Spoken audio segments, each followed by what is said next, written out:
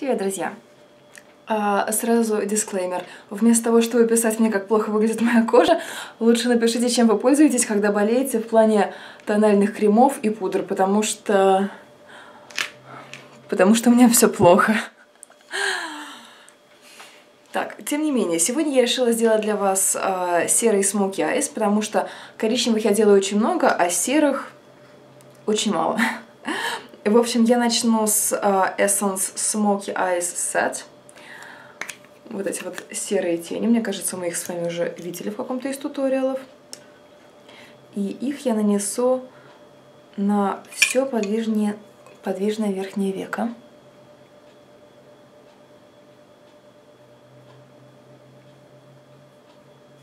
Я подумала, что зима уходит, и надо бы сделать что-нибудь такое холодное напоследок. Я думаю, в следующий раз я сниму для вас какой-нибудь яркий весенний макияж. Но пока...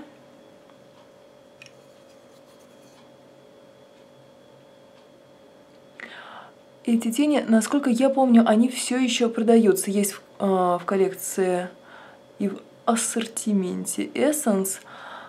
Э, они вызывает у меня неоднозначное ощущение, потому что, с одной стороны, сами тени довольно хорошие, но вот подводка, которая с ними идет, она абсолютно никудышная. То есть, если покупать, то исключительно ради теней. Но опять же, это Essence, оно все настолько дешевое, что не обидно. Так, и этот же цвет мы с вами осторожно растушевываем в складку.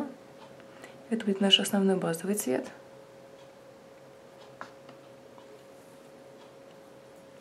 Обратите внимание, он выглядел довольно темно-серым, и тем не менее в нем есть мерцающие блестящие частички, которые отражают свет, и благодаря этому э, цвет на веках не смотрится, не знаю, плоским.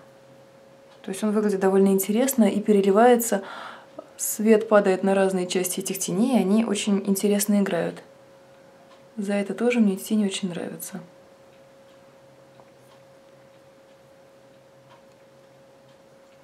Так, теперь чуть-чуть нанесем на нижнее веко.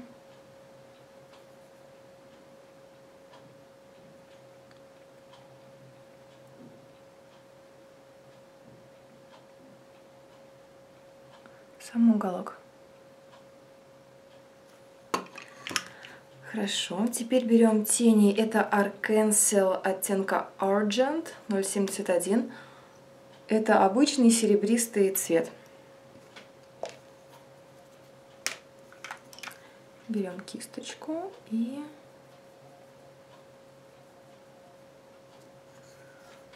наносим его во внутренний уголок верхнего века.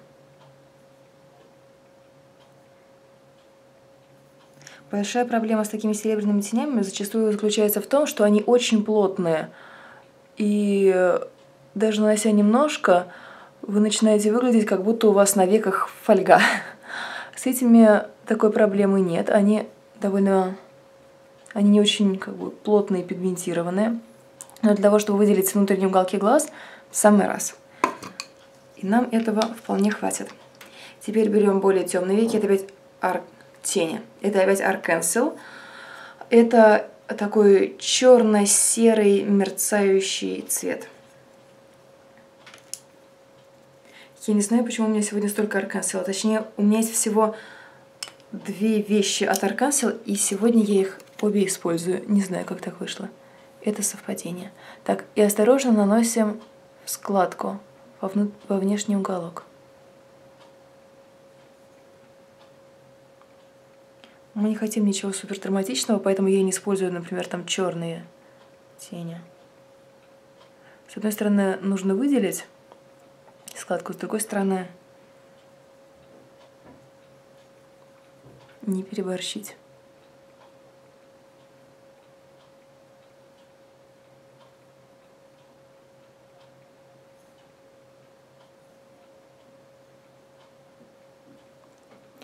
Да вот так будет в самый раз.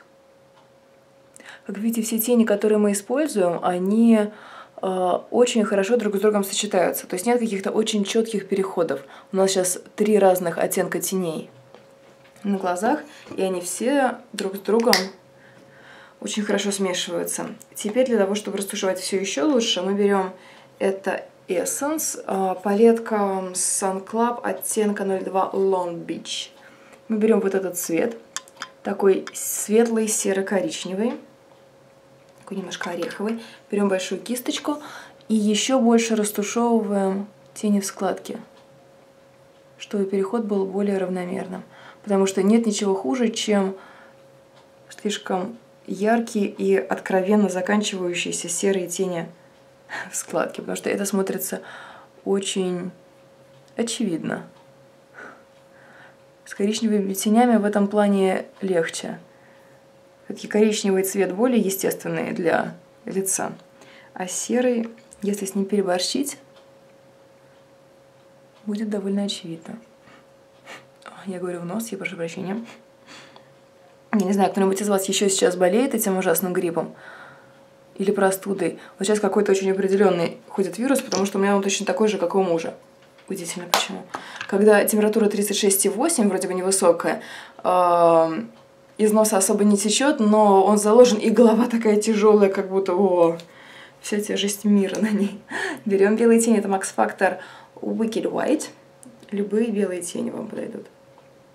Так вот, кто-нибудь еще болеет этим, этой простудой, потому что она была гадкая. Так, наносим под бровь.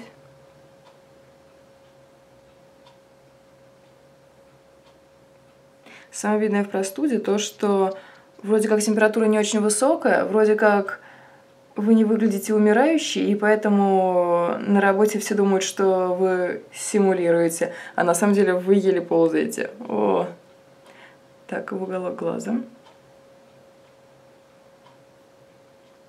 Снимаю туториалы и заодно ищу вас жалости. Очень благородно.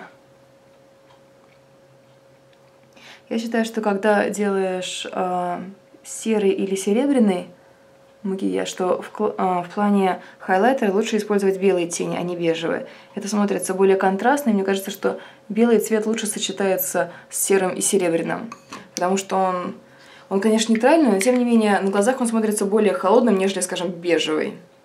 Поэтому я предпочитаю его. Карандаш. Это Мия у нас сегодня туториал, посвященный косметике, которая больше не выпускается. А, главное цвет. Очень красивый васильковый. То есть он и не синий, и не фиолетовый, что-то между ними. Этот цвет я ношу на нижнее веко. Я думала нанести серый карандаш на нижнее веко, но потом я подумала, что это будет немножко перебор. А этот цвет приятно освежит весь макияж.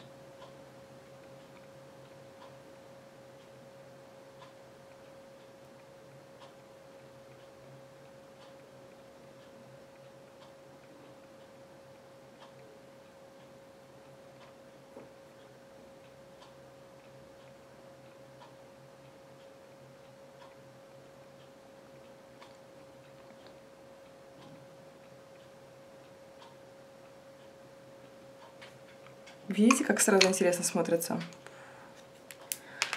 А теперь берем тушь. Это у меня Falsies. Если вы смотрели мои серии FIF, посвященные тушам, вы помните, что это была моя самая любимая тушь за тот месяц.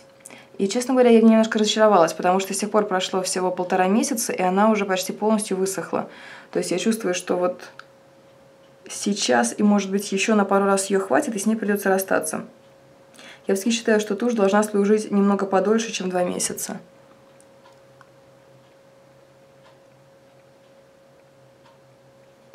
И это еще одна причина, по которой я не покупаю тушь Dior. Вдруг она тоже высохнет за два месяца.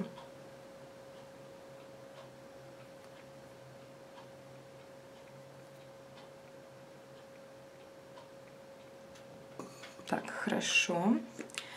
А теперь на верхней веке я наношу кардашек... Кардашек. Ким Кардашек. А, карандашик Avon Gel... А, нет, я прошу прощения, это Maybelline. Гелевый карандаш от Maybelline. А, По-моему, назывался Драма что-то такое. Все уже сточилось. У Maybelline всего один гелевый карандаш, и это он. Черный, естественно.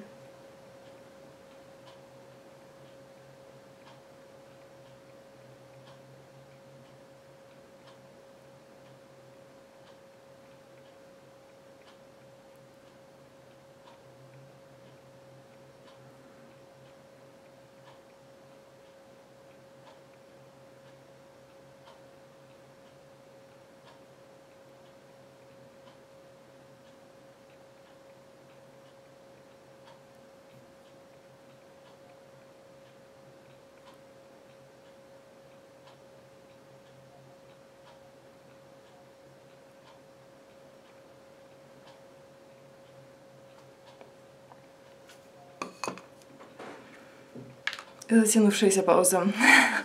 В общем, вот что у нас получилось. Клеопатра, это ты? Так, еще немножко туша. С этим туториалом, я думаю, запросто можно и накладные ресницы использовать, потому что он получился немного вечерний. Ну, хотя, опять же, днем такой тоже запросто можно носить. Ну и на вечер он сойдет.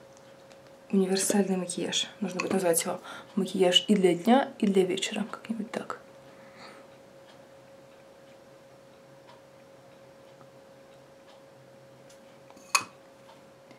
Так, теперь губки.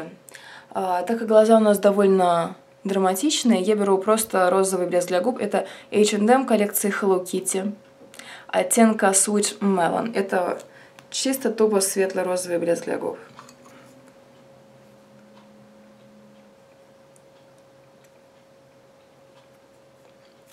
Который наконец-то начал кончаться.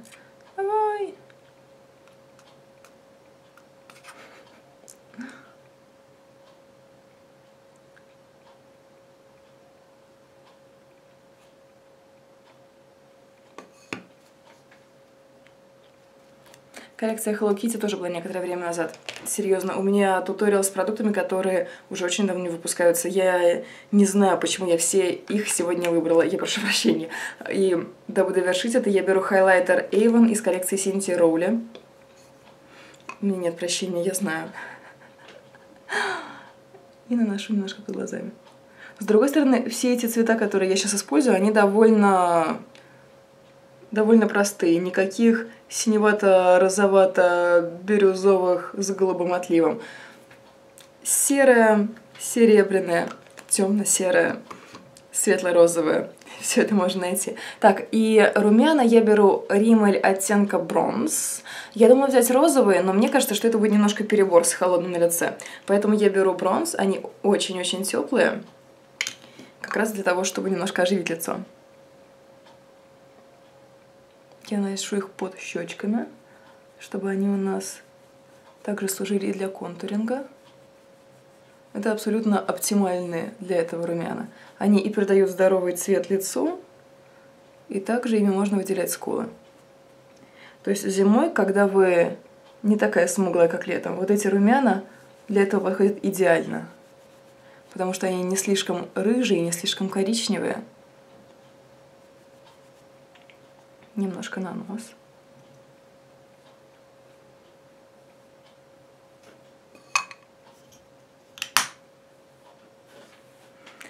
Так, и это законченный вид. Смотрите, что у нас получилось. Надеюсь, вам понравилось. И спасибо за просмотр. Пока!